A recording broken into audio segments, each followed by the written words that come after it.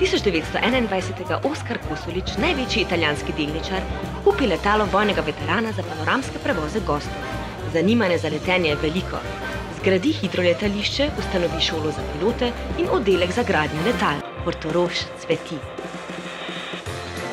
Za vreme boravka u našoj zemlji, holandska kraljica, njen suprug i članovi njihove pratnje obišli su poznati slovenački turistički centar Porto Rož. Visoki gosti iz Holandije zadržali su se izvesno vreme u Porto Rožu, a zatim su se vratili na Brione. Pred več kot 20 leti ste tu snemali film. Se Portoroža še spominjate in ali se vam zdi, da se je zelo spremenil? Ma sì, moltissimo. Francamente non l'ho riconosciuto. Zelo, iskreno povedano, ga ne bi prepoznal z izjemo hotela Palace in te lepe stare konstrukcije.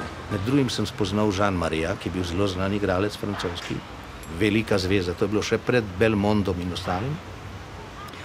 In eh, v eni sceni, kjer je Piran igral Monte Carlo pred mnogimi leti, film eh, je imel naslov Noč v Monte Carlo, sem se jaz kot statist mornar tepu z Žan Marijem tam na ladji in jaz sem bil glavna zvezda, sem se tepil z Žan Marijem, ki je bil taka velika zvezda filmska.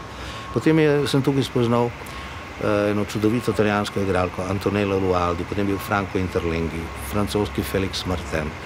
Senta Berger pozvala me u sobu i ja, si Roman Krekodić u sobu, rekao ja sam oženjen čovek, a ja sada po sobama jurim. Dođem u sobu, ona u krevetu polunaga.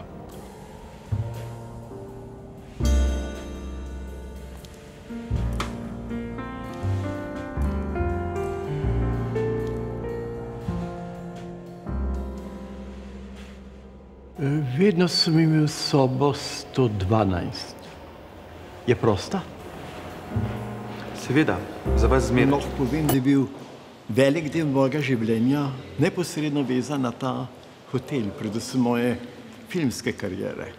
In mogoče sem en je bil v tem hotelu še, ko to še ni pripadalo Sloveniji.